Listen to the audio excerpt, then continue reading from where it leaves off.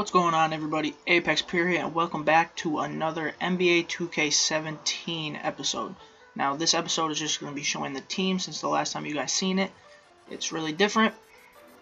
But as you guys can see, after finishing the two dominations, if you guys haven't seen the video, go watch them. But if not, you're seeing it right here. Anyways, we picked Jerry Stackhouse and for the historic domination we picked Tony Parker. And from our collector level, we got Latrell Sprewell.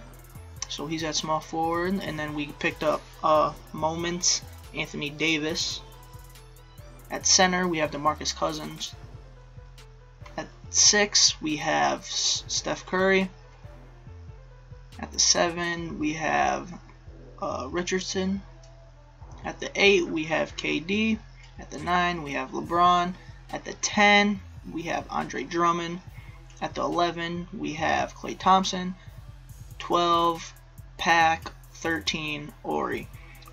But I'm most likely going to be running a 10-man rotation. So, uh, Pack and Ori probably won't be getting any minutes. Klay Thompson might get a little bit.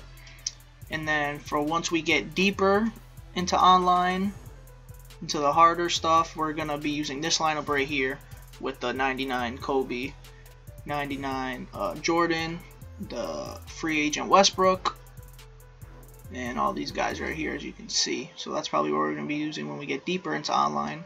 So as you guys can see, well, we have been playing a little bit online. Right now we are in the Emerald League. So yeah, we're in the Emerald League right now. And hopefully I can get you guys some gameplay soon with this team. And thanks for watching. See you in the next one.